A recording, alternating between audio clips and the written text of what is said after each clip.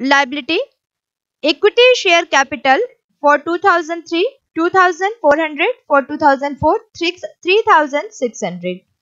reserve and surplus 2003 1872 2004 2124 debenture 2003 300 2004 600 long term debts 2003 1530 2004 702 current liabilities 2003 42 2004 60 rupees. Total of liability 2003 7044 2004 8616 assets building 2004 1620 2005 1040 machinery 2004 1860 2005 4716 furniture 2004 54 2005 108 other fixed assets 2004 120 2005 180 long term loan 2004 276 2005 354 cash and bank 2004 708 2005 60 bills receivable 2004 1254 2005 1120 stock 2004 960 2005 780 prepaid expenses 2004 18 2005 18 other current assets 2004 174 2005 240 total of assets 2004 7044 for 2005 8616 इस question में हमको एक common size balance sheet बनानी है, समाकार विवरण पत्र बनाना है, जिसे कि हमने फॉर्मेट में भी देखा था। जब हम समाकार विवरण पत्र बनाएँगे तो यहाँ पर हम दोनों साल के जो अमाउंट कॉलम है, उसको दो भागों में बांट देंगे। एक में हम उनकी राशि लिखेंगे और दूसरे दूसरे में उसका परसेंटेज कैलकुलेट करके लिखेंगे। और ये जो परसेंटेज है, ये total assets and total liability पर हम कैलकुलेट करेंगे। तो सबसे पहले हम क्वेश्चन के अकॉर्डिंग यहाँ पर देख रहे हैं कि फिक्स एसेट्स दिया गया है। फिक्स एसेट में सबसे पहले दिया गया है बिल्डिंग 2004 के लिए 1620 और 2005 के लिए 1040 नेक्स्ट है मशीनरी 2004 के लिए 1860 और 2005 के लिए 4716 उसके बाद दिया गया है फर्नीचर तो फर्नीचर 2003 के लिए है 54 और 2005 के लिए है 108 और कुछ अदर फिक्स एसेट्स दिए गए हैं, जो कि 2004 के लिए है 120 और 2005 के लिए है 180 तो सबसे पहले हम यहाँ पर टोटल फिक्स एसेट्स निकाल लें। तो टोटल फिक्स एसेट्स हम यहाँ पर कैलकुलेट कर लेंगे। 2004 के लिए आ जाएगा 3654 और 2005 के लिए आ जाएगा 6044 इसको हम क्लोज कर देंगे। अब पार्ट बी में हम इन्वेस्टमेंट लिख लेंगे। इन्वेस्टमेंट में लॉन्ग टर्म लोन दिया गया है 2004 के लिए 276 और 2005 के लिए 354 उसके बाद करंट एसेट्स की हेडिंग हम लेंगे। मेन हेडिंग करंट एसेट्स और इसमें सब हेडिंग में हमको यहाँ पर क्वेश्चन में दिखाई दे रहा है। कैश एंड बैंक बैलेंस है 2004 के लिए 708 और 2005 के लिए 60 बिल्स रिसीवेबल है 2004 के लिए 1254 और 2005 के लिए 1120 स्टॉक दिया गया है 2004 के लिए 960 और 2005 के लिए 780 प्रीपेड एक्सपेंसेस दिए गए हैं 2004 के लिए 18 और 2005 के लिए 18 अदर करंट एसेट्स दिए गए हैं 2004 के लिए 174 और 2005 के लिए 240 टोटल करंट एसेट्स है 2004 के लिए 3114 और 2005 के लिए टोटल करंट एसेट्स है 2280 अब अगर हम टोटल एसेट्स देखें, यानी कि ए बी और सी तीनों को प्लस कर दे, यानी कि fix assets plus investment plus current assets कर दे तो यहाँ पर हमको 2004 का टोटल एसेट्स मिल जाता है 7044 और 2005 का टोटल एसेट्स मिल जाता है 8616 अब हम इसमें परसेंटेज कैलकुलेट कर लें तो अब हम सबसे पहले परसेंटेज कैलकुलेट करेंगे 2004 के लिए लैंड का. तो हाँ, सबसे पहले परसेंटेज कैलकुलेट करेंगे 2004 के लिए बिल्डिंग का. जो कि है 1620 की। इसका परसेंटेज हम कैलकुलेट करेंगे टोटल फिक्स एसेट्स पे। टोटल एसेट्स पे जब हम इसकी कैलकुलेशन करेंगे इसके परसेंटेज की तो ये हो जाएगा 1620 इंटू हंड्रेड डिवाइडेड बाई 7044 जो कि टोटल एसेट्स है। और तो यह आएगा 22.99 यानी कि 23 परसेंट हम इसको राउंड ऑफ़ करके लिख सकते हैं। नेक्स्ट 2004 के लिए भी हम ऐसे ही परसेंटेज कैलकुलेट कर लें। के लिए नेक्स्ट पॉइंट होगा प्लांट एंड मशीनरी जो कि 1860 का है। इसका हम परसेंटेज कैलकुलेट कर लें टोटल एसेट्स पे। तो ये हो जाएगा 1860 इंटू हंड्रेड डिवाइडेड बाय 7044 यानी कि 26.41 परसेंटेज हो जाएगा। नेक्स्ट फर्नीचर एंड फिटिंग दिया गया है 54 का। इस पर हम परसेंटेज कैलकुलेट कर लें टोटल एसेट्स पे। तो 54 four into hundred divided by seven thousand forty four तो ये टोटल एसेट्स का हो जाएगा point seven seven percent other fix assets दिया गया है 120 का, इस पे हम परसेंटेज कैलकुलेट कर लें तो ये हो जाएगा 120 into hundred divided by seven thousand forty four तो ये हो जाएगा टोटल एसेट्स का 1.70 परसेंट और टोटल करके हम यहाँ पर लिख लेंगे, इसका परसेंटेज का जो टोटल है वो हो जाएगा 51.88 परसेंट अब हम फिक्स एसेट्स का 2005 का कैलकुलेशन करेंगे। तो 2005 में फिक्स एसेट्स में बिल्डिंग है 1040 रुपीस की। टोटल हम 2005 का फिक्स एसेट्स देख रहे हैं तो यहाँ हमको दिखाई दे रहा है ये 8616 और 2005 का जब हम लैंड एंड मशीन कैलकुलेट करते हैं तो ये हो जाता है 1040 into hundred divided by eight thousand six hundred sixteen जो कि टोटल एसेट्स है। तो इसका परसेंटेज आ जाएगा टोटल एसेट्स पे twelve point zero seven percent next दिया गया है प्लांट एंड मशीनरी 2005 के लिए 4716 इंटू हंड्रेड डिवाइडेड बाई 8616 तो ये हो जाएगा 54.73 percent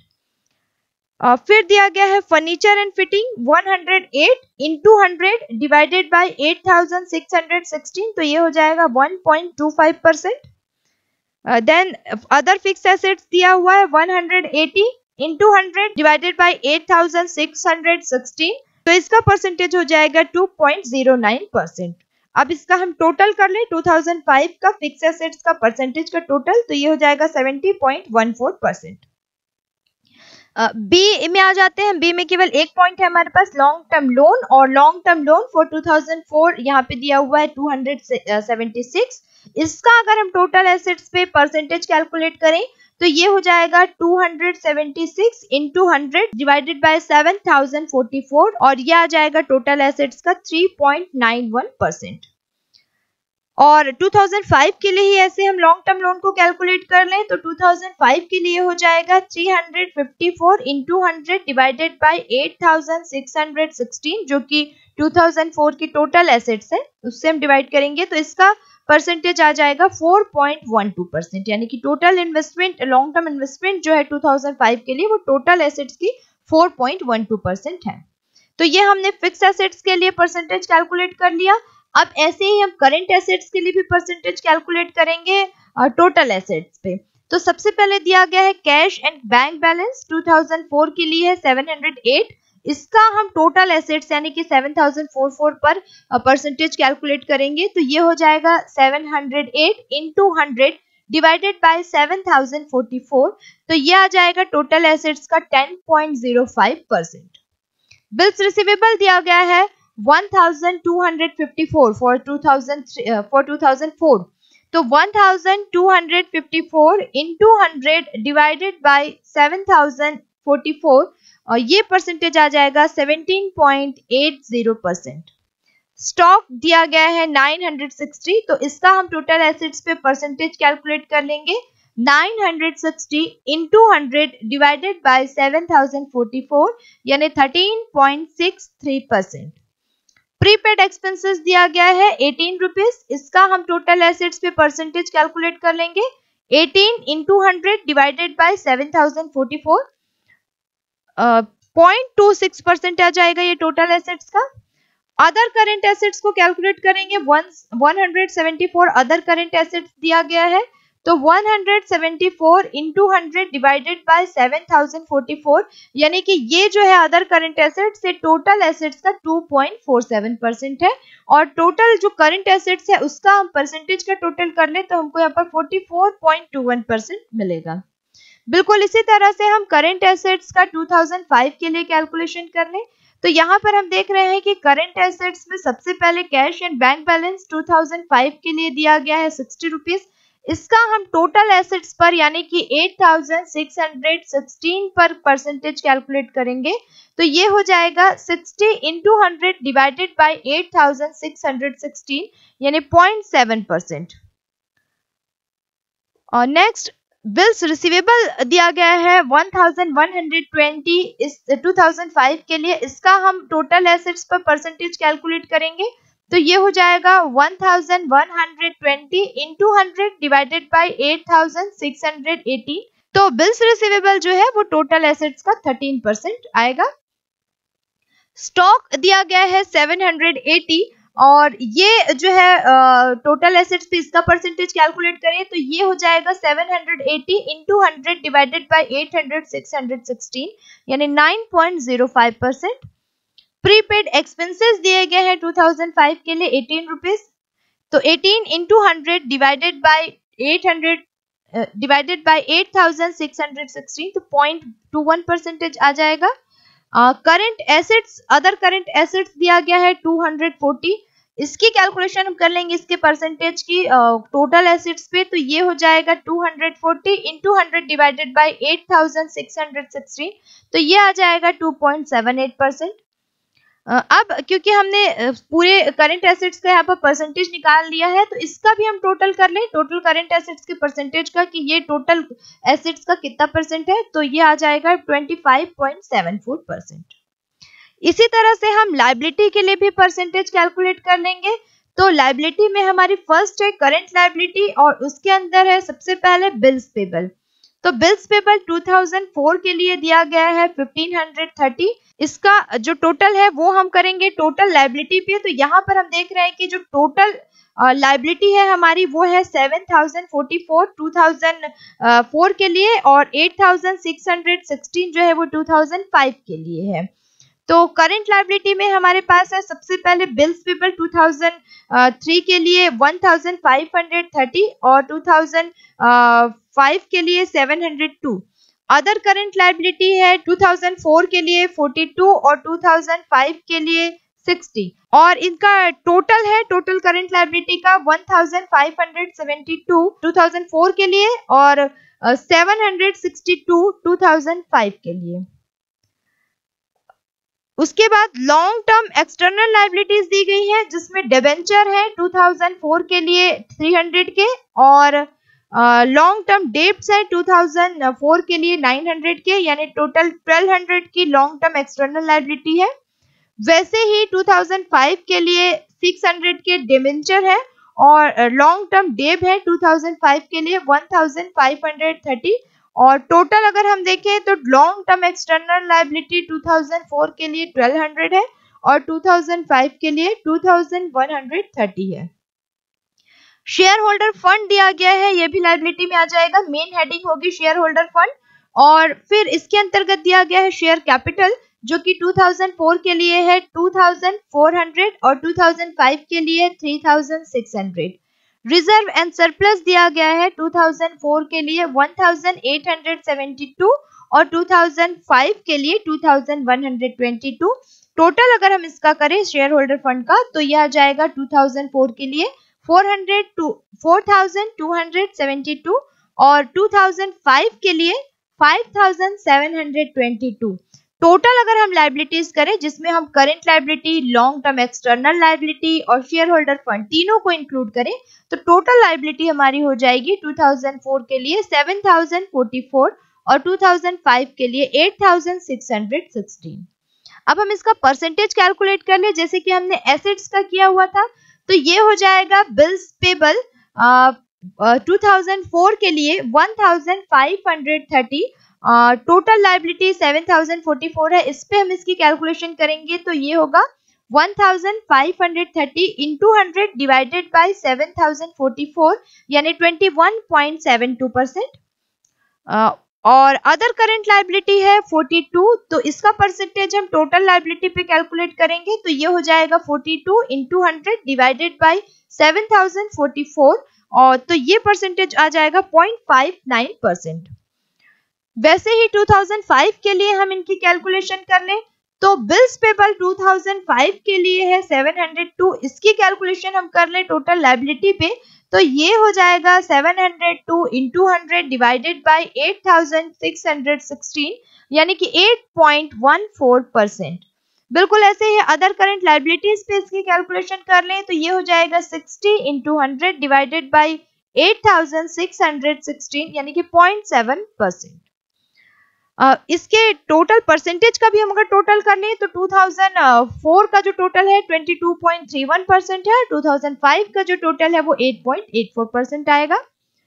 Second long term external liabilities हमने लिखी थी, जिसमें हमने देखा कि डेबेंचर जो है, वो 2004 के लिए 300 है। इस डेबेंचर का अगर हम टोटल लाइबिलिटी पे परसेंटेज निकालें तो वो हो जाएगा 300 hundred into hundred divided by seven thousand forty four यानी 4.26 परसेंट है ये टोटल लाइबिलिटी के।